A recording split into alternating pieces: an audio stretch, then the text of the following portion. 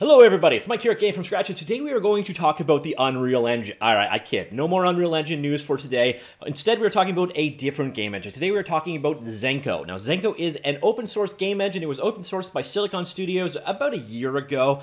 Uh, it's C-sharp powered engine. The tooling runs on Windows. Sorry to the rest of you, I do not know how well this runs under Wine, uh, but it is capable of targeting all of the major platforms you can think of. And the reason why we're talking about it today is because Xenko 3.1 was released. And at this point in time, normally what I would do is jump in and take a look at the release notes. But the release notes, as we will see in a few minutes, are a little that. So first we're going to just actually take a look at Xenko itself, give you a quick hands-on with the engine, uh, take a look at the features of the engine, and then we will get to said release notes. So if you're interested in grabbing or downloading Xenko, it is available at xenko.com. Uh, as I mentioned earlier on, it is completely open source under the MIT source license with the source code hosted on GitHub.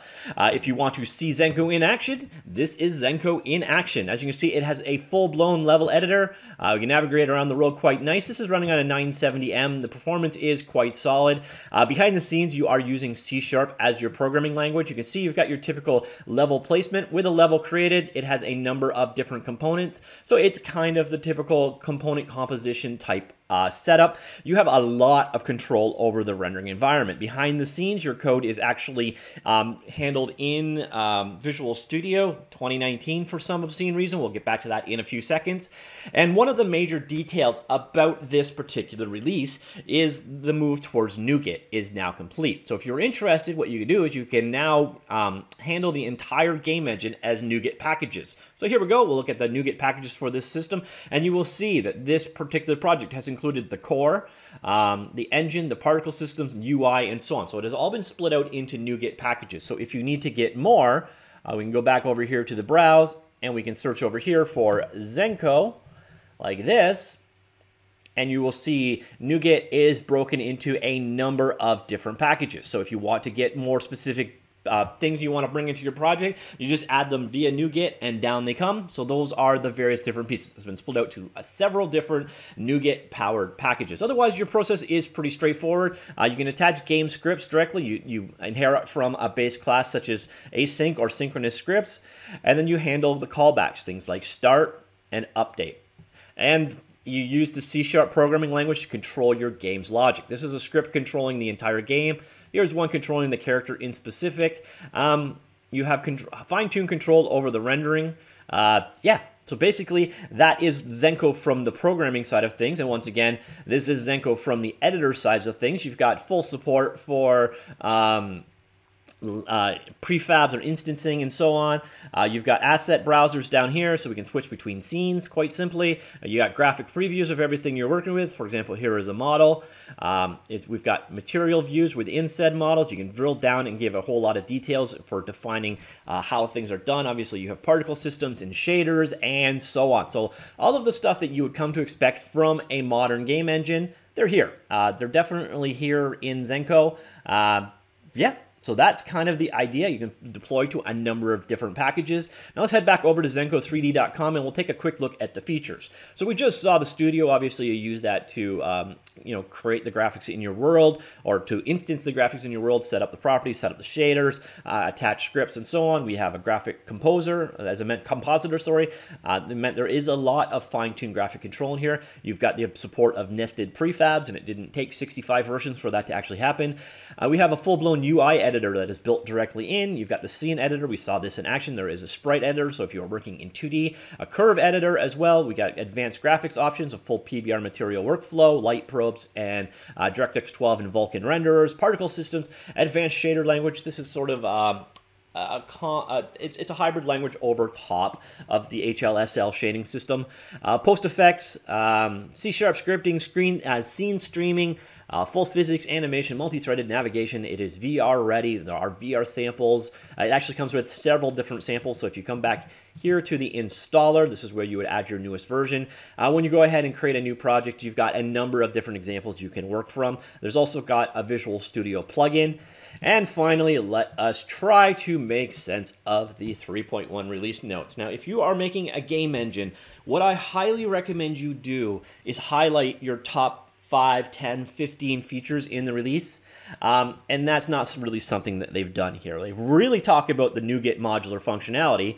So one major change is turning the engine into modular NuGet packages published on NuGet.org. So you don't really need to use their installer. I don't think you can get everything through NuGet through your project. And it does make uh, upgrading and so on quite a bit easier. Now this is absolutely, utterly, and overwhelmingly bat crap insane.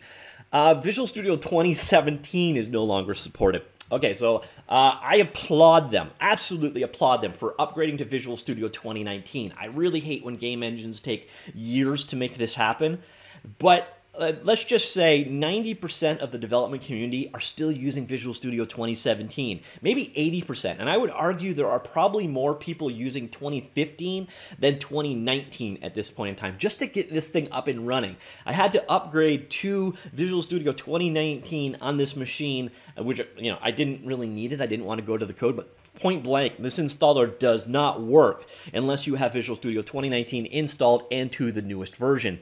So this is crazy talk. Also, if you want to install Xenko, be sure that you do go into Visual Studio and run all of the updates because it seems like the installer fails otherwise.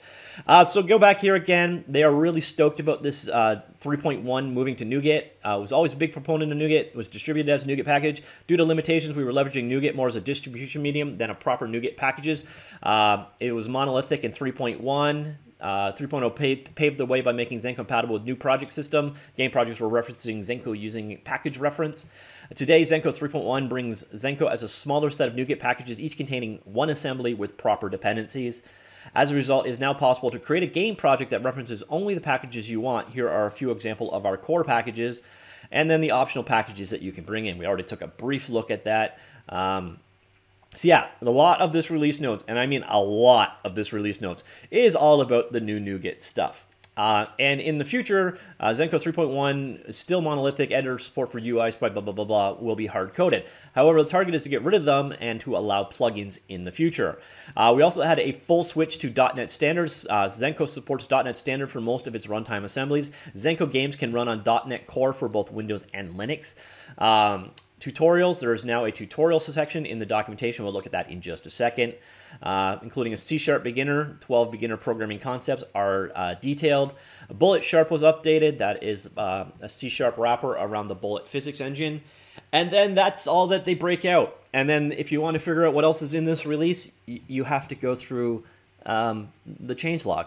And the changelog is garbage. There's a lot of duplication in here.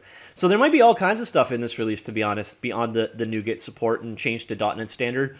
It's just, you've got to read through this changelog that just keeps going and has duplications over and over and over and over and over again um, all the way throughout it. So we'll just keep scrolling. There might be something here. That there might be something amazing in here. Uh, they bumped up to .NET 4.7.2. That's impressive. Uh, I, I don't I don't have have a clue because this is a terrible change log. So I'm harping a bit, but I want to just let you know if you develop a game engine and you want people to do notes on it when it, it's released and, and changes happen, you're going to want to break out what is new uh, a bit more than just something like this as as we keep scrolling through through the change logs. Um, yeah. So, oh, this one has an exclamation point. That must be important. Um, yeah, so if you want, of course, I will link this down below. So if you want to get into the full details of what was released in the set, um, sorry, 3.1 release, uh, there is a lot more than was highlighted. There's a lot more to it than just the NuGet changes. I just, unfortunately, I don't know what they are. so um, if you are making a game engine, I do recommend, highly recommend that you spend a bit of time on your release notes instead of something like this because th this is borderline useless, frankly. But uh, again, that is it. And my other one piece of feedback, once again, is this. This once again is insane. Requiring people to upgrade to 2019 already. I, I love being on the bleeding edge. I really appreciate that. Uh, but that that is kind of crazy. Um, so you should definitely support at least 2017 soon. So again, congratulations on supporting 2019 so quickly. I wish every game engine did that, but don't don't don't throw the baby out with the bathwater like that quickly. That is just insane. So, anyways, that is it. That is um, Xenko. It's it's a very very cool game engine. Uh, it's definitely one worth checking out. Open source MIT licensed, as I mentioned earlier on. You're seeing chunkiness because for some reason my my screen capture is doing that all of a sudden. But it is a very performant engine. It works quite well. All of the tools and features and functionality you probably expect to see are here. The performance for loading things, the asset loading, the importing, it is all very good. Um, and I think I'm actually going to do another getting started 3D tutorial, a quick one on Xenko itself. So this is an engine I think more people should be exposed to. Um, yeah, so that is it. Uh, 3.1. I wish I could go into uh, a bit more explicit detail of what all you're getting in this 3.1 release, but as you saw, I can't. All right, so that's it. Let me know what you think of Xenko. Let me know what you think of Xenko in uh, in the comments down below. And hey, at least it's not Unreal Engine news. We've had a lot of that lately. Uh, all right, that's it. Talk to you all later. Goodbye.